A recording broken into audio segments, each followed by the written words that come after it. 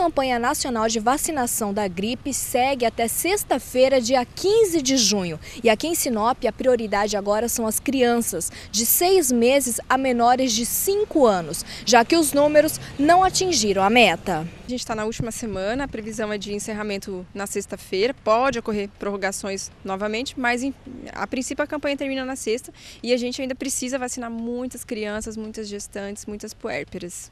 A gente pede que essas pessoas, principalmente crianças, que os pais estejam levando, porque a gente vacinou em torno de 60% só das crianças. As gestantes também a gente vacinou só metade delas, então elas precisam estar procurando as unidades, estar regularizando o cartão de vacina, porque a gente sabe que, a, gripe, a influenza, ela, nessas populações, ela costuma ser mais severa e a gente precisa proteger essas pessoas. A vacina, ela geralmente é super bem tolerada. O que tem acontecido raramente, também não é uma coisa muito muito comum é a reação local, que é a vermelhidão e um pouquinho de sensibilidade no local de aplicação.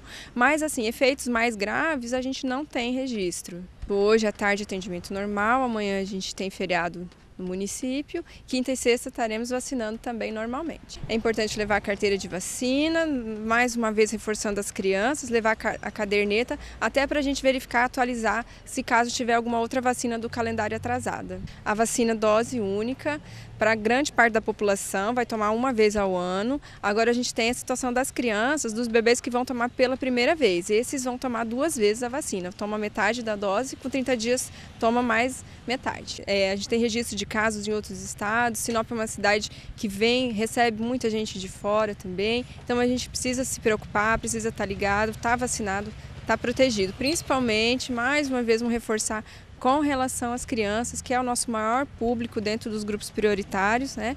E são bebês, são mais suscetíveis, geralmente estão em creches, em escolas, então a chance de transmissão e, e também de, de adquirir é muito grande, então precisamos protegê-las. A única contraindicação, de, a indicação de adiar a vacina é no caso de uma doença febril, né? Se a pessoa tiver com uma febre alta, uma doença aguda em curso, aí sim a gente tem essa recomendação de adiar.